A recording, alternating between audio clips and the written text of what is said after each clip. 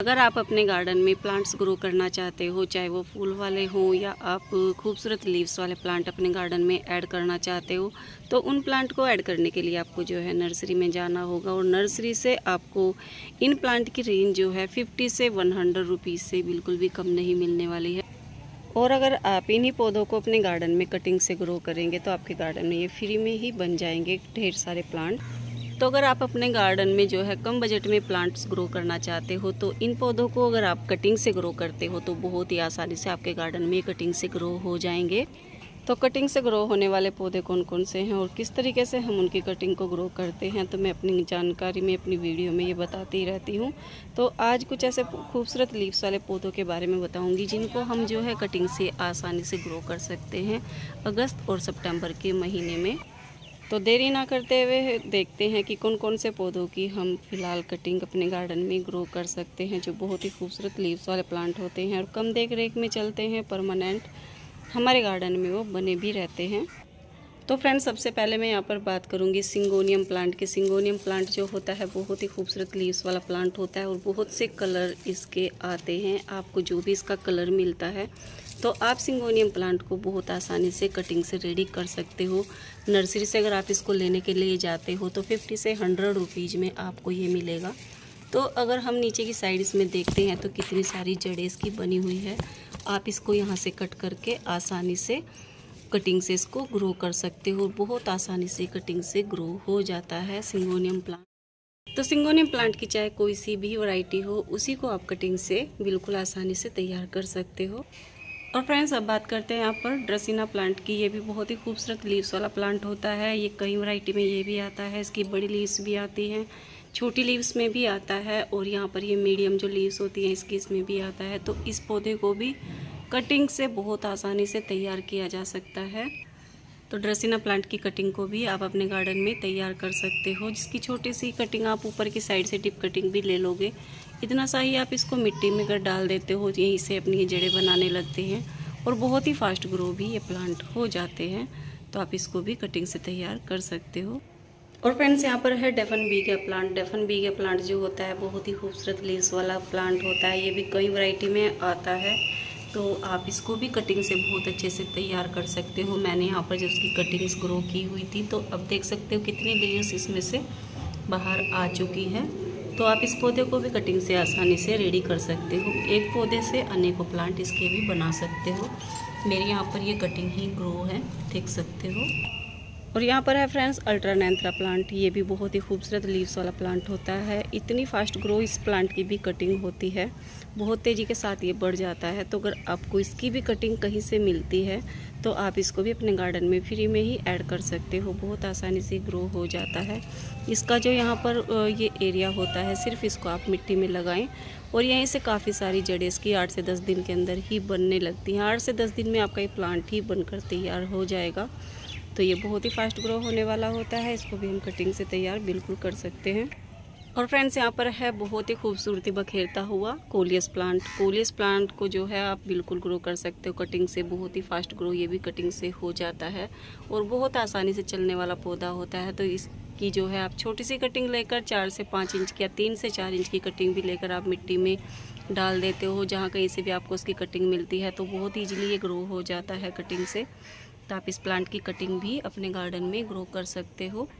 और यहाँ पर है devil's backbone plant devil's backbone plant भी कई वैरायटी में आता है। इसकी भी आप छोटी सी कटिंग लेकर अगर लगाते हो तो ये ही आपके गार्डन में काफ़ी सारी अपनी ब्रांचेस निकाल लेते हैं और देखने में ये बेहद ही खूबसूरत लगते हैं। तो यहाँ पर वेरीगेटेड जो लीव्स वाला प्लांट होता है, ये भी बहुत ही खूबसूरत लगता है। तो फिर उसमें चाहे ग्रीन वाला हो ग्रीन वैरायटी भी जो इसकी होती है, ये भी एक अपना नया लुक निकालती है तो इसकी भी हम कटिंग लगा सकते हैं।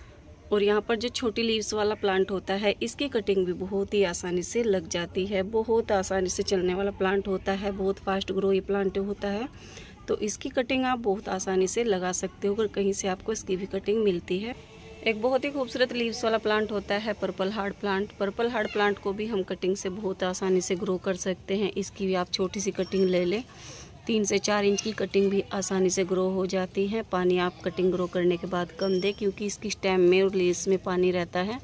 तो आप जब भी इनकी कटिंग लगाते हो, कम पानी का यूज़ करें। कटिंग लगाने के बाद आप एक्स्ट्रा वाटरिंग कटिंग के अंदर बिल्कुल भी ना करें। तो आपके गार्डन में ये भी काफ़ी अच्छी तरीके से ग्रो हो जाएगा पर्पल हार्ड प्लांट और फ्रेंड्स यहाँ पर है बहुत ही खूबसूरत लीव्स वाला कैबिज फ्लावर प्लांट ये भी दो वैरायटी में आता है। यहाँ पर क्रीम कलर में जो होता है वो भी आता है और यहाँ पर है ये पिंक कलर में वाइट कलर में आता है तो आप इसकी कटिंग आसानी से ग्रो कर सकते हो।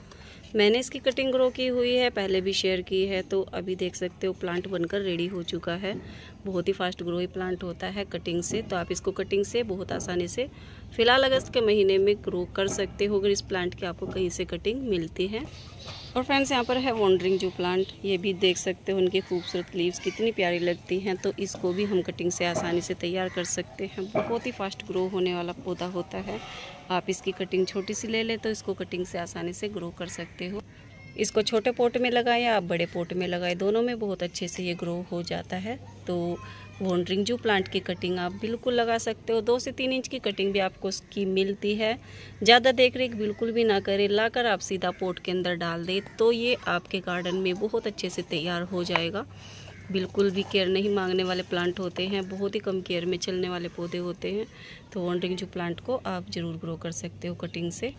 और फ्रेंड्स एक ऐसा ही खूबसूरत प्लांट होता है, लाल सा प्लांट देख सकते हो कितनी अच्छी इसकी लीव्स जो होती हैं वो लगती हैं तो ये आपको जगह जगह पर कहीं पर भी मिल जाएगा। तो आप इसकी छोटी सी कटिंग ही लेकर अगर अपने गार्डन में डाल देते हो, काफ़ी सारे प्लांट इससे भी आपके बन जाएँगे और बिल्कुल भी कटिंग फैल नहीं होती, बहुत ही हार्डली प्लांट होता है।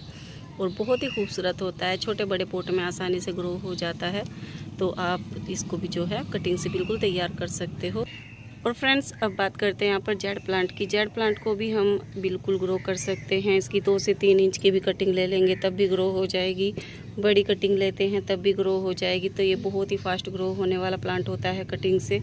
कहीं से भी आपको उसकी कटिंग मिलती है तो वहीं से आप इसकी कटिंग लेकर अपने गार्डन में ग्रो कर सकते हो तो ये भी बहुत ही कम केयर में चलने वाला पौधा होता है। तो आप इसको भी कटिंग से बिल्कुल तैयार कर सकते हो अगस्त और सितंबर के महीने में। और फ्रेंड्स अब बात करते हैं यहाँ पर। वॉल्विंग जू प्लांट की। वॉल्विंग जू प्लांट जो होता है, ये भी बहुत ही खूबसूरत लीव्स वाला प्लांट होता है। यहाँ पर देख सकते हो कितनी खूबसूरत इसकी जो लीव्स होती हैं, ये लगती है। हैंगिंग बास्केट के बहुत ही बेस्ट प्लांट होते हैं। तो आप इसको भी अपने गार्डन में ग्रो कर सकते हो, जो बहुत ही खूबसूरत एक लुक लिए रहता है। पूरे पोट को ये कवर कर लेते हैं। तो आप इसको एक बार लेकर अपने गार्डन में ग्रो करते हो। कहीं पर भी इसकी कटिंग मिलती है, वहीं से लेकर आप इसके, ये आपके गार्डन से बिल्कुल भी नहीं जाने वाले होते हैं। तो आप इसको भी कटिंग से आसानी से रेडी कर सकते हो बोलविंग जू प्लांट को। और फ्रेंड्स अब बात करते हैं यहाँ पर स्वीट पटैटो वाइन प्लांट की। स्वीट पटैटो वाइन प्लांट भी बहुत ही खूबसूरत लीव्स वाला प्लांट होता है। कई वैरायटी में ये आता है। इसकी आपको कहीं से भी छोटी सी भी कटिंग मिलती है, बहुत आसानी से ग्रो हो जाता है और बहुत ही फास्ट ग्रो ये होता है। इसकी भी कटिंग बिल्कुल भी फैल नहीं होती है तो आप इसको भी कटिंग से आसानी से रेडी कर सकते हो अपने गार्डन में। और एक बार लगाते हो, बिल्कुल भी नहीं जाने वाले होते। ये भी आपको जगह जगह पर, हर नर्सरी में या कहीं पर भी मिल जाएगा। तो इसको भी आप कटिंग से बिल्कुल रेडी कर सकते हो। तो फ्रेंड्स यह है कुछ मेरी छोटी सी जानकारी। कुछ ऐसे पौधों को लेकर खूबसूरत से जो बहुत ही खूबसूरत लीव्स वाले प्लांट होते हैं और बहुत ही कम देखभाल में चलते हैं और कहीं से भी हमें इनकी कटिंग मिलती है तो हम उनको कटिंग से आसानी से तैयार कर सकते हैं। कम बजट में हमारा पैसा भी ज़्यादा बर्बाद इन पैसों कटिंग पर, पौधों पर नहीं होगा तो आप इन पौधों को कटिंग से बिल्कुल रेडी कर सकते हो। तो अगर मेरी जानकारी आपको अच्छी लगी हो कमेंट कर ज़रूर बताना लाइक और सब्सक्राइब ज़रूर करना। Okay guys bye